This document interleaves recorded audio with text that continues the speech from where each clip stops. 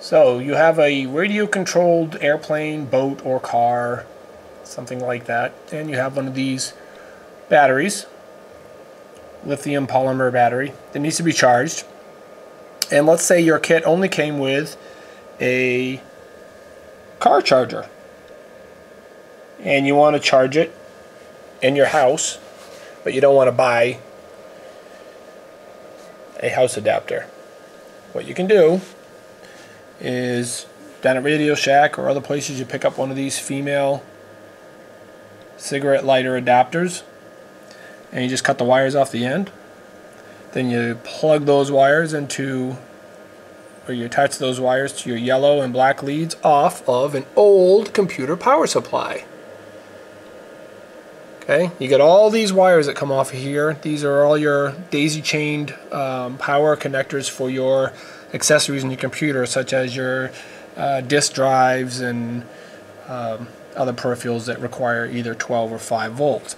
Yellow gets you 12 volts, red gets you 5 volts, black is ground. So you connect your black lead to the ground lead for your cigarette lighter adapter, which would be the outside portion of it, and then the little inside is your is your positive lead.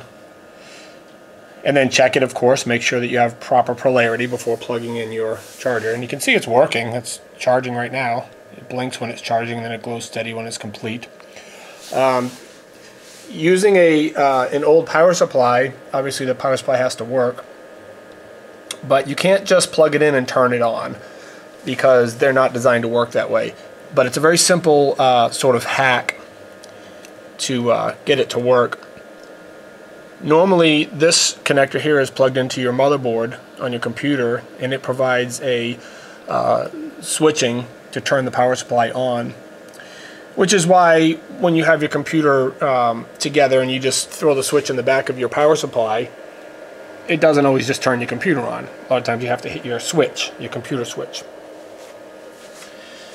Your power switch on the front of your computer, like that.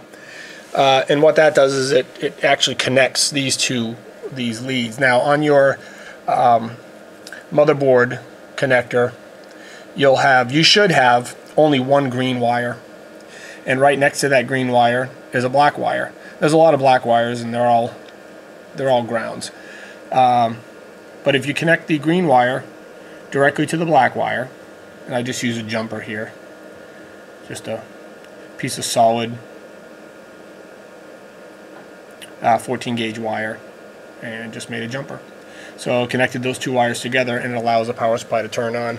And then once you do that, you have your you have your 12 volts and you have multiple uh, connectors depending on your power supply. Um, this one has tons and tons of daisy chain connectors. So I can use it for a lot of things. I'm going to use the 12 volts here for the charger. I'm going to pull another 12 volts off another lead. Uh, this yellow and black lead right here will give me another 12 volts and that's going to um, make my uh, give me power from my hot wire foam cutter. So just a quick little uh, DIY, easy, cheap, reusing uh, materials, which is something I love to do. If anybody watched my videos, you know that about me. I love to reuse things, repurpose things. So uh, I hope that helps people, save you some money. Thanks for watching, guys.